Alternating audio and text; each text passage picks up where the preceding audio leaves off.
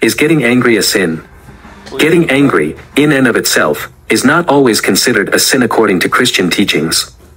The Bible provides various contexts in which anger is discussed, and it distinguishes between righteous anger and unrighteous or sinful anger. 1. Righteous anger.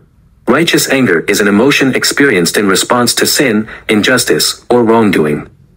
Jesus himself displayed righteous anger, notably when he overturned the tables of the money changers in the temple, Matthew 21 verses 12 to 13. This act demonstrated his passion for the purity and reverence of his Father's house. Similarly, in Mark 3 verse 5, Jesus looked around at the people in anger, deeply distressed at their stubborn hearts. 2. Unrighteous anger.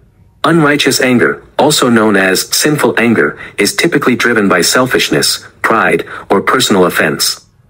Ephesians 4 verses 26 to 27 states, In your anger do not sin, do not let the sun go down while you are still angry, and do not give the devil a foothold. This passage implies that while anger can be a natural response, it's important not to let it lead us into sin. 3. Causes of sinful anger. Several factors can lead to sinful anger, pride, when our ego is hurt or when we feel that our rights are violated. Selfishness, when we don't get what we want or when things don't go our way. Jealousy, feeling resentful towards someone's success or blessings. Impatience, not being able to tolerate delays or inconveniences. Unforgiveness, holding on to grudges and past offenses. Lack of self-control, allowing emotions to overpower rational thinking. 4. Biblical guidelines on anger.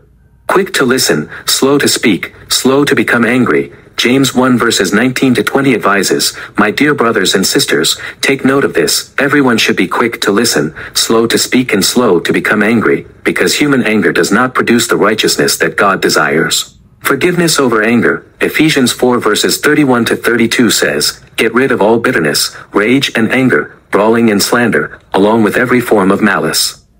Be kind and compassionate to one another, forgiving each other, just as in Christ God forgave you. Avoid retaliation. Romans 12 verse 19 encourages, Do not take revenge, my dear friends, but leave room for God's wrath, for it is written, It is mine to avenge, I will repay, says the Lord. 5. Jesus teaching on anger. The Sermon on the Mount, Jesus gave a profound teaching on anger in Matthew 5 verses 21 to 22. You have heard that it was said to the people long ago, You shall not murder, and anyone who murders will be subject to judgment. But I tell you that anyone who is angry with a brother or sister will be subject to judgment. Again, anyone who says to a brother or sister, Raca, is answerable to the court. And anyone who says, You fool, will be in danger of the fire of hell. Resolution before worship. In Matthew 5 verses 23 to 24, Jesus advises, Therefore, if you are offering your gift at the altar and there remember that your brother or sister has something against you, leave your gift there in front of the altar. First go and be reconciled to them, then come and offer your gift. 6. The role of the Holy Spirit. Fruit of the Spirit. Galatians 5 verses 22 to 23 highlights the fruit of the Spirit, which includes self-control. With the Holy Spirit's guidance, believers can manage and control their anger better. Avoiding provocation. Proverbs 15 verse 1 advises, A gentle answer turns away wrath, but a harsh word stirs up anger. Believers are encouraged to respond to situations in a manner that diffuses anger rather than provokes it. 7. Seeking help and guidance. Counsel and wisdom. Proverbs 19 verse 11 states, A person's wisdom yields patience, it is to one's glory to overlook an offense.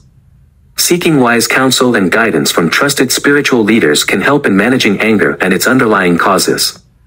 Prayer and dependence on God, Philippians 4 verses 6 to 7 encourages believers to bring their worries and anxieties to God in prayer, which can also include feelings of anger and frustration. In conclusion, while getting angry is a natural human emotion, it is the way we handle and respond to that anger that determines its righteousness. Christians are encouraged to examine the root causes. If you enjoyed this video please like share and subscribe to our channel.